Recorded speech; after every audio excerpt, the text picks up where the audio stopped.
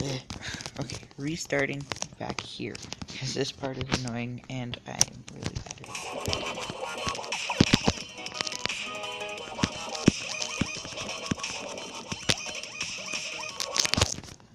And that part is also